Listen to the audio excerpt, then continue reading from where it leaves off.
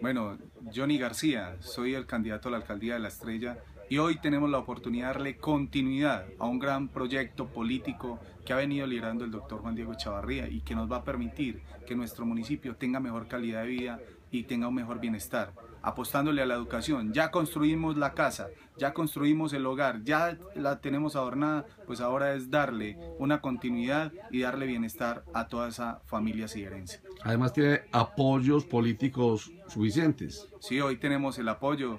Vamos a salir avalados por el partido de la U, pero tenemos el apoyo del Partido Liberal, Cambio Radical, la ASI, AICO, Centro Democrático, la alianza con el Partido Verde y la alianza con el Partido Conservador declinaron algunos candidatos a, su favor.